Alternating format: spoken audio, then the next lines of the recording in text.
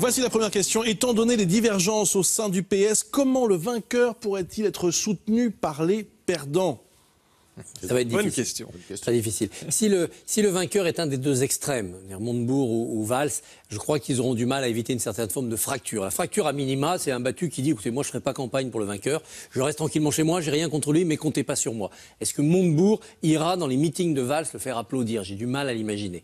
La fracture à maxima, eh ben, c'est un PS qui éclate, qui éclate complètement et qui se promet pour le lendemain, alors là, d'une défaite quasi assurée, des règlements de compte cinglants et saignants. Ça veut dire que derrière les législatives vont être une catastrophe et qu'il n'y aura peut-être pas de capacité du Parti socialiste à être l'opposition officielle à la droite triomphante, parce que cette opposition, elle s'appellera Marine Le Et c'est Pen. là où Macron C'est pour ça que récupère. je, C'est là où Macron récupère. Je voudrais rester sur un point qui est central chez les sympathisants PS, c'est qu'il y a une fracture profonde chez les sympathisants PS sur les enjeux économiques. Ils ne sont pas d'accord sur toute une série de, de points. On l'a vu à l'occasion de la loi El Khomri, on le voit à l'occasion de la question des fonctionnaires, du rôle de l'État. Il y a deux blocs sensiblement équivalents qui sont profondément divisés, ce qui n'était pas le cas à droite ou pas à ce point.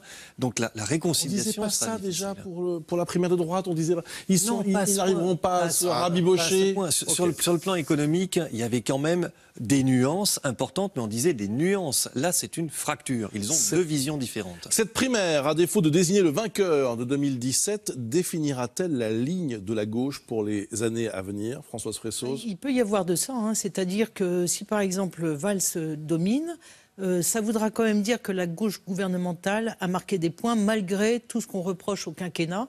Et là, ça sera peut-être dû à la positionnement de Valls de dire j'assume, je suis capable de gouverner, j'ai la stature. Si c'est Montebourg, par exemple, ou si c'est Hamon, ça sera plus compliqué parce qu'il y aura toujours cette idée de dire la gauche révolutionnaire. En fait, la gauche, elle n'est la gauche que quand elle, est, elle porte un idéal révolutionnaire de changement profond de la société. Et donc, il y aura peut-être ce message de dire finalement, gouverner, on se salit les mains et qu'il vaut mieux rester dans l'opposition.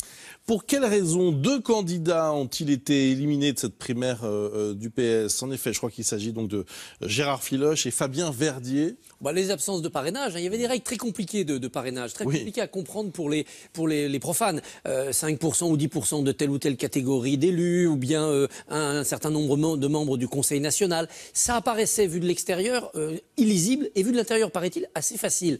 Mais il y a des candidats qui n'ont pas réussi à les remplir. Et on peut soupçonner euh, tous les, les arrangements d'appareil. Thomas Clay, qu'on a vu tout à l'heure, euh, n'est pas quelqu'un qui plaisante. C'est un juriste, c'est un spécialiste de l'arbitrage, il s'est occupé des affaires de football. C'est vous dire s'il a géré des, des choses compliquées. Donc il est évident que ni Verdier ni Filoche n'avaient les parrainages. Point barre. Après ou avant, il y a eu de la part de Cambadélis des exclusions plus politiques. C'est-à-dire qu'il a considéré que ceux qui n'avaient pas adhéré dès le début, dès le début de l'automne, à la belle alliance populaire, n'avaient pas le droit de venir comme euh, famille invitée, comme ont pu le faire les radicaux Alors, ou les partis écologistes. Regardez cette évoque. question qui complète euh, la précédente. Quels sont les recours de Gérard Filoche? Il y a une haute autorité, une autorité qui va observer ça. S'il s'il n'a pas les parrainages, il sera euh, refoulé. Pour qui les électeurs de Filoche vont-ils voter maintenant? Hamon ou Montebourg Mélenchon direct, hein, vous savez, Mélenchon direct. Mélenchon ou dans la primaire, malgré tout, plutôt Mont, je pense, que Montebourg. Moi, moi, je crois qu'aujourd'hui, Montebourg a, a fait en gros le plein parce qu'il est connu et que celui qui peut euh, progressivement capter justement ce courant, et on le voit à travers les thèmes qu'il défend, c'est plutôt Benoît Hamon. Et c'est ça qui va être intéressant dans la primaire. On de réserve des débats télé. Ils peuvent, ils peuvent aussi Oui. considérer que leur champion, Gérard Filoche, étant exclu, mais ils se détournent du- de la primaire du Parti Socialiste, ils vont euh, Voter pour euh, Mélenchon. Un deuxième tour de la présidentielle Macron-Fillon est-il envisageable? Tout est envisageable il est et pas- ce deuxième tour est envisageable Oui, aussi. oui, oui, il n'est- il n'est pas exclu. Moi, je, je dis depuis longtemps, aujourd'hui, nous avons une Marine Le Pen, a priori, qualifiée pour le second tour, etc. Il faut avoir en tête un autre scénario qui n'est pas à exclure, qui serait le scénario B, avec un affrontement plus classique, gauche-droite, ou en tous les cas, Macron-Fillon. Ça dépendra du point d'atterrissage de Marine Le Pen. Je, crois qu'on n'imagine plus, quand on dit Marine Le Pen, 24%, mais c'est déjà colossal. Elle a Mais- fait 18% à la dernière présidentielle. Atteindre 24%, ce serait une performance déjà colossale. Mais si- A fortiori 28 ou 29.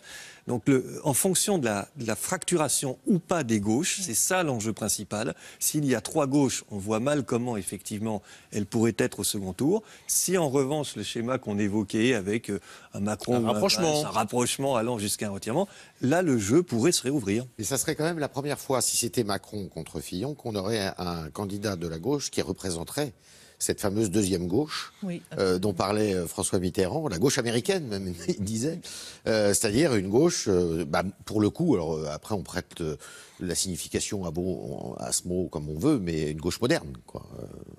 Une gauche social-libérale. Mais c'est vrai que le, c'est vrai que le libéralisme euh, semble progresser, en tout cas dans une fraction assez importante de la Qui population. pour des électeurs de Où gauche, sont- la gauche, hein, il faut quand même le rappeler. Voilà. Où sont passées les valeurs de la gauche? Le PS les incarne-t-il toujours aujourd'hui? Le, le socialisme est une idée défunte, donc il faut la redéfinir, il faut la faire renaître. Est-ce que le socialisme, ça doit être le social-dirigisme, ça c'est Montebourg, le social-libéralisme, ça c'est Macron, un certain social-républicanisme, avec cette autorité que veut incarner Valls, ça sera aux électeurs de le dire, et probablement, si la défaite est au rendez-vous en 2017, à un congrès refondateur, de voir si on change de nom, ce qu'avait proposé Valls, Oui. si on change simplement d'idéologie, ce que la gauche française aurait dû faire depuis longtemps. Si Benoît Hamon gagnait la primaire, Macron ne disposerait-il pas d'un espace considérable du centre-gauche au centre-droit Bien sûr, bien sûr. Les- L'espace de- d'Emmanuel Macron, il, est, euh, il peut se dilater en fonction de qui va remporter la primaire. Et a fortiori, si c'est Arnaud Montebourg ou Benoît Hamon, euh, Emmanuel Macron en sera renforcé. L'ambition de Manuel Valls est-elle de devenir président ou de prendre les rênes du PS après 2017 pour se positionner Les deux, moi, je en pense. 2022 Les deux. Françoise Fressoz Les deux. Les deux. Euh, ce qui est très intéressant, c'est qu'au départ, il ne pensait pas qu'il il aurait à prendre la- la- le, le parti. Oui. Donc il a toujours développé des thèmes que- comme quoi il fallait dépasser. Là, on voit qu'il va essayer de, de- de garder la vieille maison, comme on dit, mais avec l'idée d'être un jour président de la République, bien sûr. Si le Parti socialiste n'est pas au second tour de la présidentielle, quel sera son avenir, Yves Tréhard? Alors son avenir, il peut passer par Emmanuel Macron, justement. C'est toute la théorie de Gérard Collomb, le maire de Lyon, qui est un des soutiens fervents de euh, Emmanuel Macron, Ouais. qui pense qu'en 2017, eh bien, on pourrait assister à ce qui s'est passé en 1971 avec François Mitterrand, euh, où François Mitterrand finalement, finalement avait emporté au congrès d'Épinay le Parti socialiste, qui était la SFIO, qui était moribonde, et euh, eh bien, il fait le pari que si Macron fait un beau parcours présidentiel et qu'il arrive en tête de la gauche de gouvernement, eh bien, ça peut s'organiser autour de lui. Euh, c'est une, hypothèse. Il peut aussi, ce Parti socialiste, disparaître parce qu'il sera peut-être pas troisième, peut-être quatrième, peut-être cinquième. Il aura 45 députés et, Il y aurait une logique à un moment donné à ce que ce Parti socialiste, dont on a dit qu'il était très fracturé, fracture, se fracture et qu'il y ait un pôle qui émerge du côté de Jean-Luc Mélenchon et d'une partie du Parti socialiste, et puis un autre pôle qui s'installe avec Emmanuel Macron. c'est de 25 l'autre ans d'opposition, euh, du, du Parti socialiste. Oui, mais ça correspond au courant d'opinion aujourd'hui. Tout à fait. Euh, À propos de Macron, qui finance la campagne d'Emmanuel Macron?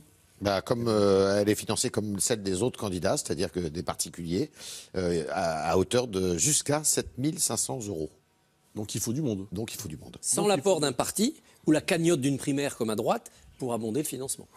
Comment l'auteur des gauches irréconciliables, ça c'est euh, Manuel Valls, pourrait-il être le rassembleur de 2017 En arrivant à convaincre l'opinion que quand il a dit gauche irréconciliable, il ne pensait pas à ces gauches qui participent à la primaire, mais à cette gauche sortie depuis longtemps de l'orbite socialiste, c'est-à-dire Mélenchon et l'extrême gauche. Voilà. Il faut qu'il arrive à convaincre dans les débats télé qu'il n'a pas dit irré- irréconciliable avec Hamon, Payon et Montebourg, mais irréconciliable avec Mélenchon. Alors regardez avec cette question pourquoi la, la participation sera vraiment très importante. Regardez, c'est très intéressant. Si le nombre d'électeurs à la primaire était dérisoire, le PS n'aurait-il pas d'autre alternative que soutenir Macron Brice Teinturier, c'est vrai.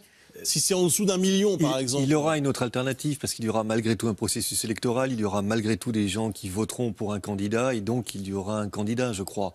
Euh, mais ça montrerait l'affaiblissement considérable dans cette hypothèse de, de la légitimité du candidat PS. Ça Parce qu'il faut, il faut voir que la, la primaire, elle était organisée pour Hollande. pour- C'était un démarrage aussi de campagne présidentielle. Donc, si vous avez très peu d'électeurs, la dynamique présidentielle pour imposer votre candidat, elle, est, elle plouffe dès le départ. Si Valls est vainqueur de la primaire, peut-il être au second tour de la présidentielle Devant Marine Le Pen ou François Fillon Brice Teinturier On se retrouve avec le, le schéma. Il, il y a beaucoup d'étapes à ce moment-là à franchir. Il faut qu'il l'emporte par rapport à Emmanuel Macron et il faudrait qu'on passe d'un euh, euh, désistement ou à un ralliement à une candidature en tous les cas beaucoup plus homogène à gauche. La dernière question Hollande pourrait-il changer d'avis et se présenter Absolument pas. Non J'y crois pas deux Je secondes. veux dire, Non. il faudrait une situation tragique c'est-à-dire un candidat désigné par la primaire et assassiné par un attentat. Voilà. Donc autant ne pas faire de politique fiction. C'est le seul cas où le président pourrait revenir. Merci beaucoup à tous les quatre. Merci à l'équipe qui a préparé cette émission. Dans un instant, c'est à vous avec Anne-Sophie Lapix. Ce soir, ne manquez pas le documentaire événement signé Leonardo DiCaprio. Ça s'appelle Avant le déluge. L'acteur dénonce les effets du réchauffement climatique. Il rencontre des scientifiques, des économistes, mais aussi Barack Obama, Ban Ki-moon et le pape François. Ce film donc de Leonardo DiCaprio est à découvrir sur France 5 à 20h50. Et juste après à 22h25, il y a la rediff de C'est dans l'air. Très bonne soirée.